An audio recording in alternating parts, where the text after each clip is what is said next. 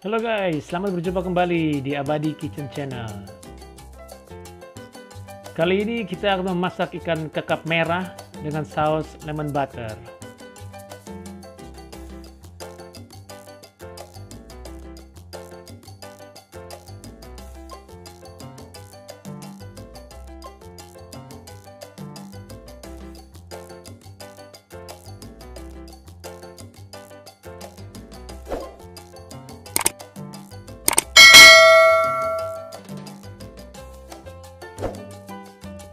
Pertama-tama kita potong ikan kakapnya untuk mendapatkan file-filenya.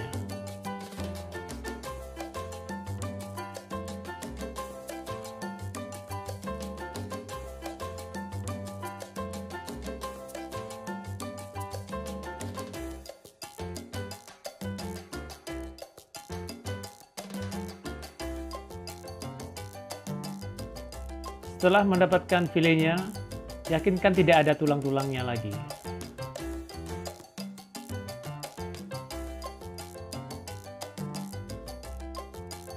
Dan sekarang, file-filenya siap kita masak.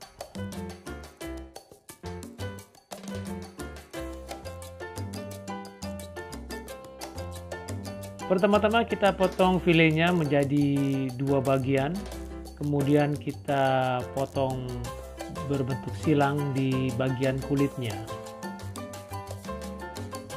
Lalu kita tambahkan lemon juice, kemudian garam, merica putih, dan oles sampai merata.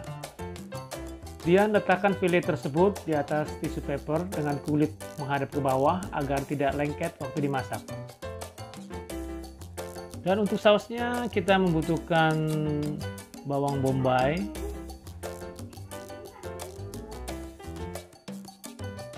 juga bawang putih.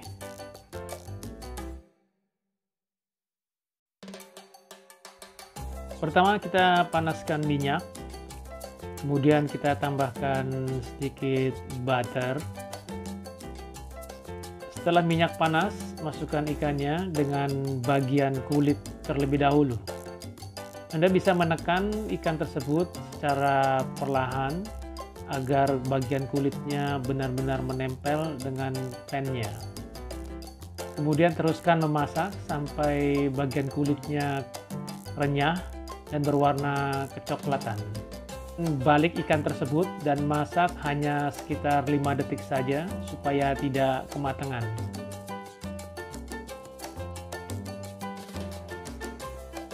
Kemudian di pan tersebut tambahkan sedikit butter.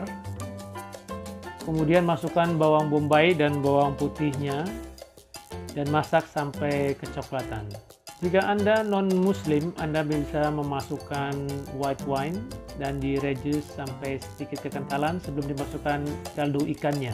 Di sini saya tidak memasukkan white wine, jadi saya langsung masukkan kaldu ikannya. Masak sausnya perlahan dengan api kecil. Kemudian tambahkan garam, merica putih, dan gula pasir.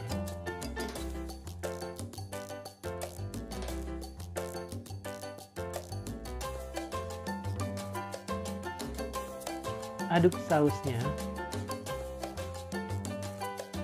Setelah saus mulai mengental, masukkan lemon juice-nya. Seberapa banyak lemon juice-nya itu tergantung selera Anda. Kemudian masukkan butter dan diaduk-aduk.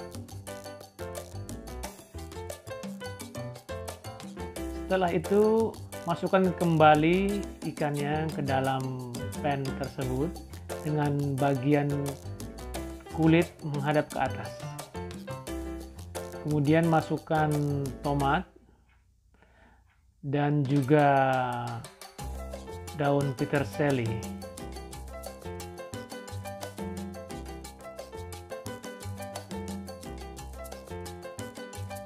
Aduklah dengan perlahan Kemudian balurkan saus lemon butter tersebut ke atas permukaan ikan tersebut. Dan sekarang waktunya kita menyusun di piring. Kali ini saya menaruh kentang tumbuk di tengah piring, kemudian menyusun ikannya satu persatu. Lalu kita taburkan sausnya ke atas permukaan ikan dan sekeliling piring tersebut.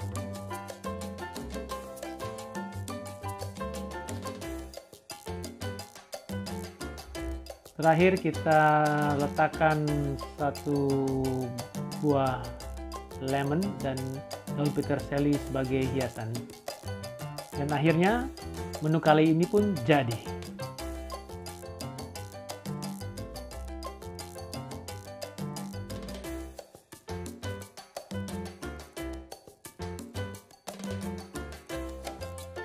Terima kasih sudah menonton Abadi Kitchen channel. Please like, comment, share, and subscribe. Terima kasih.